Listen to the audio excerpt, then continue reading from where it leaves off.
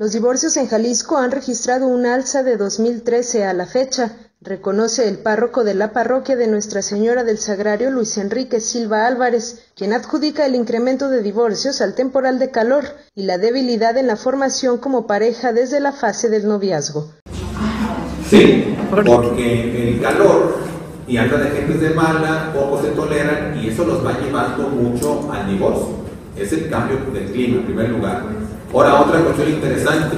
Muchos divorcios a veces son por la causa de que no tienen una buena fundamentación desde el noviazgo. Entonces se necesita desde una buena fundamentación del noviazgo para llegar, llegar a esa realidad. Son muchísimas causas. No podemos, ¿cómo se llama?, de cuál la mayor parte. Puede ser el económico, puede ser en la misma inmadurez de, de una o de ambas personas.